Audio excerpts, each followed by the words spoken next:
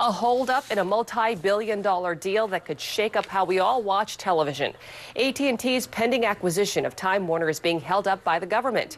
ABC's Aaron Katersky reports on what could be complicating the major deal.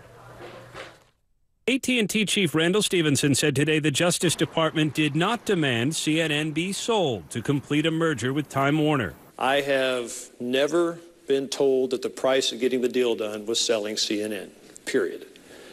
And likewise, I have never offered to sell CNN.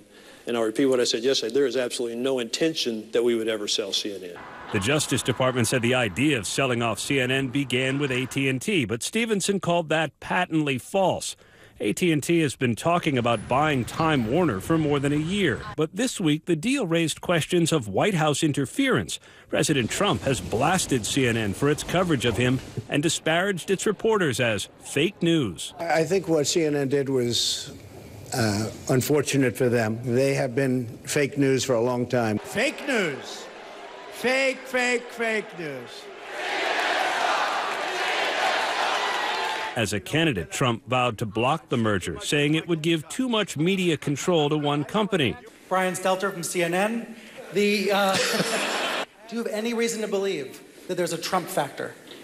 I have no reason to believe that. Based on my conversation with the DOJ, I'm doubtful, so I have no reason to suspect that. Stephenson says AT&T will head to court if the deal doesn't go through. Since the day we announced this, we've been preparing to litigate this deal. Aaron Katersky, and, uh, ABC News, New York. Very